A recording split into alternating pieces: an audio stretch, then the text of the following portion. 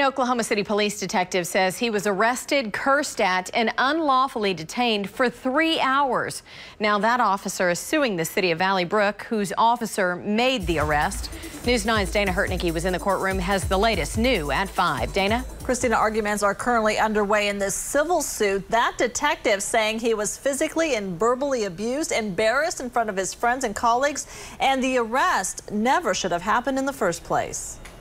Chuck Wheeler, a decorated detective with the Oklahoma City Police Department, at an unfamiliar place in the courtroom. This after finding himself at another unfamiliar place, the back of a police cruiser on September 26, 2009.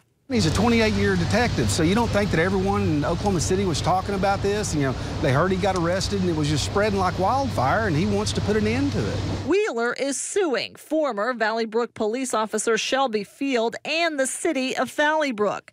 According to court papers, Detective Wheeler was with his wife and two friends and had just pulled into this parking lot in Oklahoma City and got out of the car when he noticed a police car with its lights on pulling up behind him.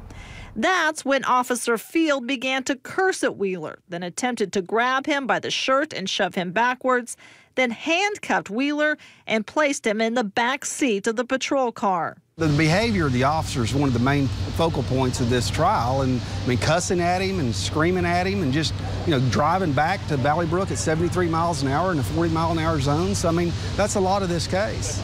Field denies that he was cursing and says Wheeler did not obey orders to remain in the vehicle. Field says Wheeler tried to hit him with his car while Field was on a traffic stop, and that's why he pulled him over in the first place. Now, the detective, Detective Wheeler, is asking for $10,000 in damages. Arguments are scheduled to continue through tomorrow. Reporting live in the Web Center, Dana Hertneky, News 9. All right, Dana. Detective Wheeler received the Medal of